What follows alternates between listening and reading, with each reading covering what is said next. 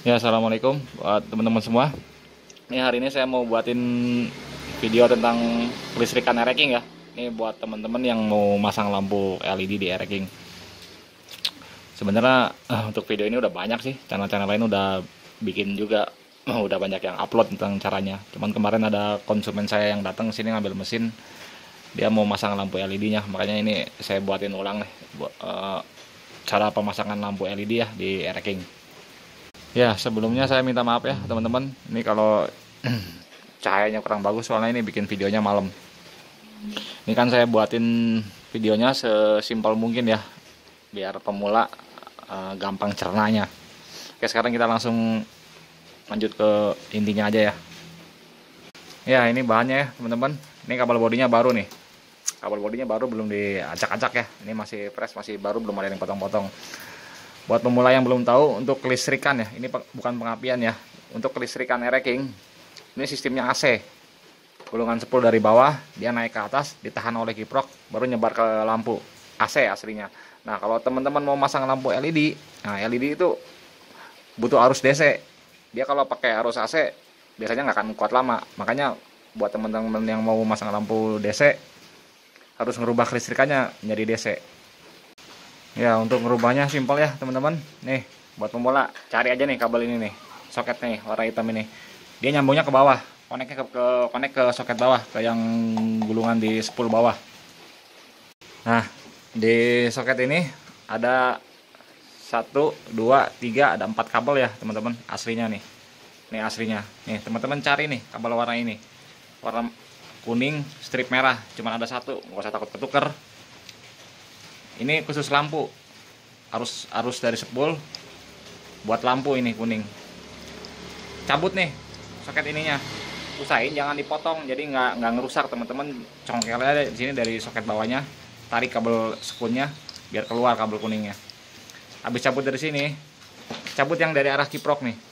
Di kiprok juga ada nih. Kabel kuning ini dia nyambung ke kiprok cabut nih cuma ada satu kabel kok warna kuning strip merah. Ngerti ya satu sama ini satu cabut. Ya sudah nyabut kabel ini, ini jangan lupa ya teman-teman nanti di apa diisolasi ditutup ya. Teman-teman lari ke depan nih. Cari soket yang menuju ke saklar kiri nih. Sini kan ada. Nah nih soket yang menuju saklar kiri. Cari lagi kabel warna kuning sama merah nih. Kuning sama merah. Teman-teman jumper ke sini. Warna coklat. Ini ke, ke kontak. Kalau teman-teman ngejumpernya langsung ke aki nanti setrumnya on terus. Makanya di jumpernya ke kontak. Jangan salah jangan ke yang merah. Ke yang coklat sesudah kontak. Jadi kalau kontak on strum hidup. Kontak off strum strum dia ikut mati. Paham ya? Kuning merah yang menuju soket saklar ini jumper ke kontak warna coklat. Ya kalau teman-teman udah nge jumper sekarang tinggal teman-teman tes aja ya. Ini kita, kita ngetesnya pakai tes pen ya. Ini jalur setrum lampu dekat dan lampu jauh ini. Tak on. Nyala kan? Ini tes pen DC lampu jauh lampu dekat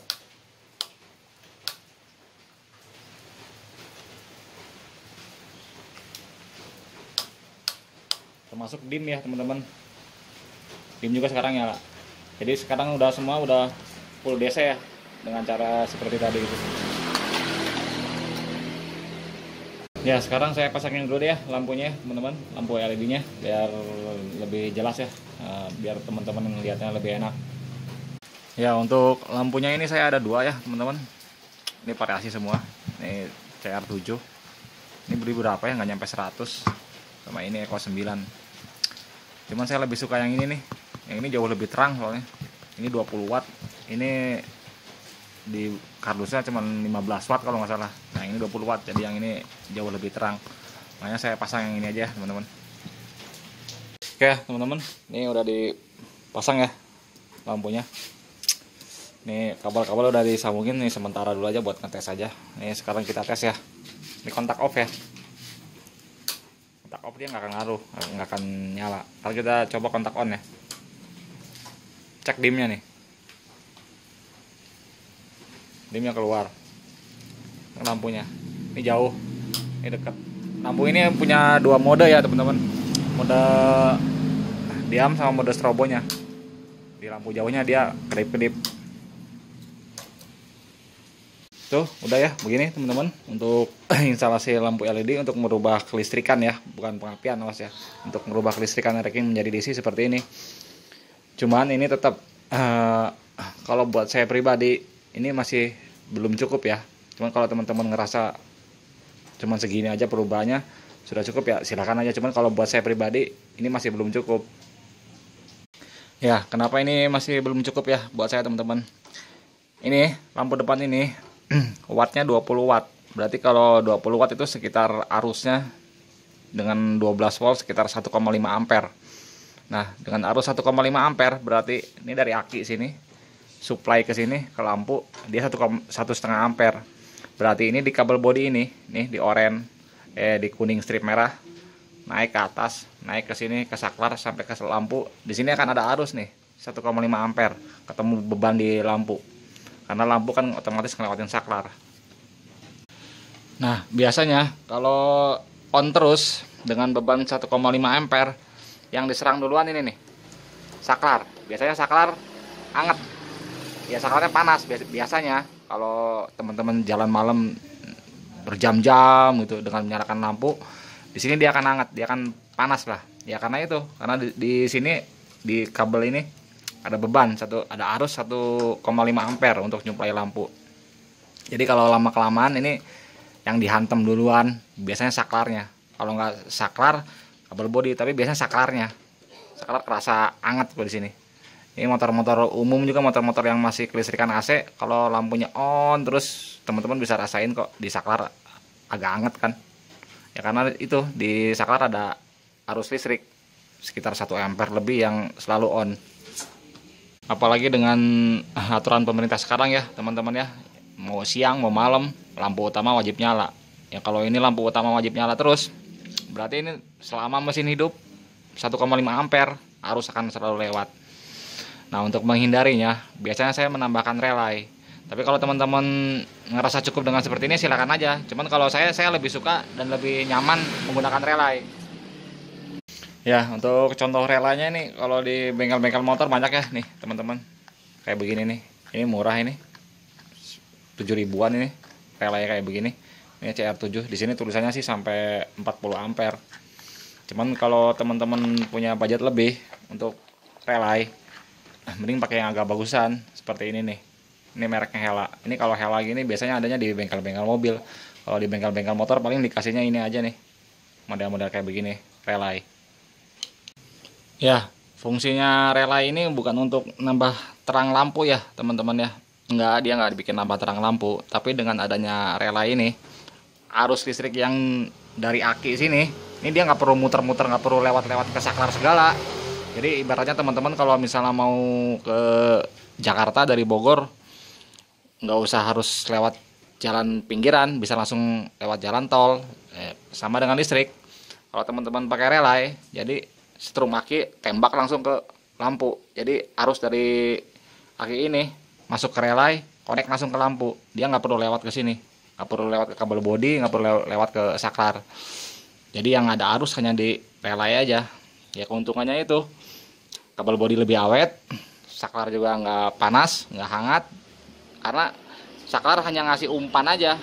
Beban arusnya ada di sini lewatnya di relay bukan di sini bukan di saklar atau bukan di kapal body sekarang kita langsung saya tunjukin ya cara pasangnya ya relay ya teman-teman untuk video ini saya pasang relaynya yang ini aja ya. Ini biar nanti teman-teman juga sama kalau dapatnya mudah. Saya nggak akan pasang yang ini. Sebenarnya ini kakinya sama aja. Yang ini lebih bagus. Untuk kaki-kaki kaki-kakinya mah nggak nggak ada bedanya. Sama aja. Nah kalau teman-teman beli relay ini jangan lupa beli ininya nih. Soketnya. Soket ini 3 ribuan nih kalau di bengkel-bengkel biasa. Di sini ada ada empat kaki. 87 30 86 85 sama aja ini mah. Nggak usah eh, nggak usah bingung buat pemula nih nggak usah bingung. Ini mau ini mau ini mau dibalik gak apa-apa. Nih ini yang 30 ini ambil ambil ke langsung ke kaki. Yang 87 ini masuk ke jalur lampu langsung ke lampu utamanya ke lampu ininya nih ke lampu ininya merahnya. Nah ini kaki ini masa. Nah yang ini ini pemicunya. Pemicunya temen teman-teman bisa ambil dari lampu jauh atau lampu dekat. Nah untuk saat ini saya ambil di lampu dekat. Jadi lampu dekat aja yang pakai relay untuk lampu jauhnya. Saya masih menggunakan kabel body karena kan emang jarang kita pakai strobo. Yang on terus kan masih di lampu dekatnya Nah, tinggal kita pasang aja teman-teman ya. Untuk pasang teman-teman terserah mau disambung, mau dililit, mau di solasi, bebas itu mah gimana nyamannya aja. Yang penting kuat, nggak bocor. Gak usah niru kayak saya harus pakai sekun cuman kalau saya lebih nyaman pakai sekun jadi dia lebih apa ya lebih kuat lah pegangannya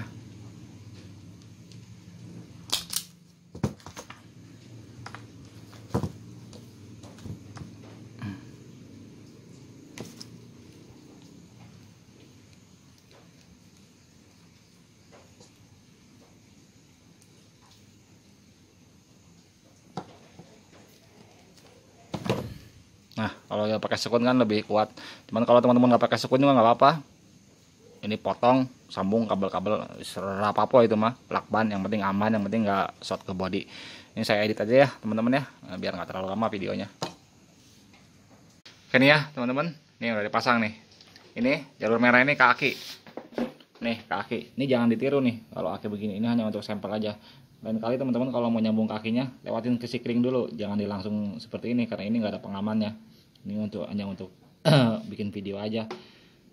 Langsung sambunginnya ke sikring jangan tiru seperti ini ya. Nah ini yang hitam ini tarik ke masa nih. Ini ke masa. Ini langsung ke lampu depan. Yang kuning ini ini sensornya apa pemicunya pemancingnya. Jadi ini kabel body ini ngeluarin setrum hanya untuk micu supaya relay aktif aja.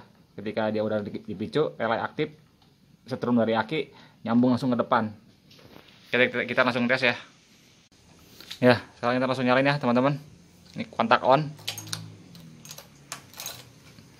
Ini kita langsung nyalain lampu dekatnya. Ini teman-teman bisa lihat nih kalau relaynya aktif. Di sini dia ada lampunya sedikit alay ini relaynya tuh. Dia nyala lampu. Kalau lampu pakai lampu jauh masih manfaatin kabel body lampu mode strobonya lampu dekat. Nah, jadi untuk lampu yang dekatnya ini memanfaatkan rela ya teman-teman untuk lampu jauhnya ini masih pakai kabel body ya karena itu karena jarang kan jarang pakai lampu strobo yang sering dipakai kan lampu dekatnya nah, kalau lampu dekat ini kan arusnya kan lebih kuat lebih gede satu setengah ampere jadi dengan adanya relay ini arus listrik ini nggak harus lewat kabel body. Jadi dari aki langsung masuk ke relay, tembak langsung ke lampu depan.